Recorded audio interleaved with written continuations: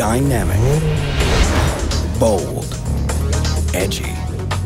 This muscular design features an aggressive stance and a sleek profile, resulting in a powerful road presence that screams speed, even at a standstill, which is great and all, but can it outrun a building?